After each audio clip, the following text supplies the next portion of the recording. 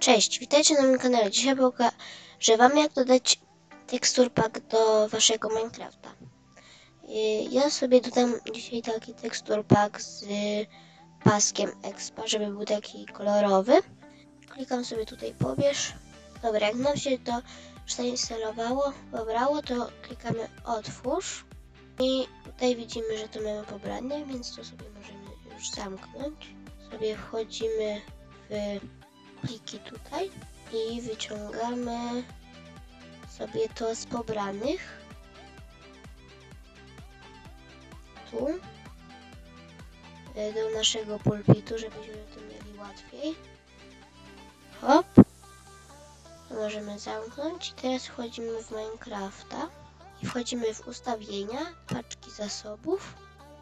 Dajemy otwórz folder z paczkami sobie możemy zmin- zminimalizować na razie. Przyciągamy sobie tutaj y, naszą paczkę, która się tutaj zainstalowała i to już możemy zamknąć. Teraz wchodzimy w tu i klikamy w ten sobie tutaj przycisk i przekładamy to, potwierdzamy i przekładamy sobie tutaj ten. Dajemy gotowe. I teraz tutaj się nam odpala jakby ta paczka zasobów. Mamy gotowe. I żeby sobie Wam potwierdzić, że to działa, wejdę sobie na jakiś losowy świat. Dobra, jak nam się już świat odpalił, tutaj widzę, że mamy na survivalu, więc sobie przełączmy na game mode y, creative. Hop. Weźmy sobie butelki z expem i sobie tutaj rzućmy. Trochę tego, żeby było widać, że mamy expa. Teraz musimy sobie sprawdzić. Sobie przełączmy survival. Widzimy, że mamy kolorowy pasek. I to jest ogólnie...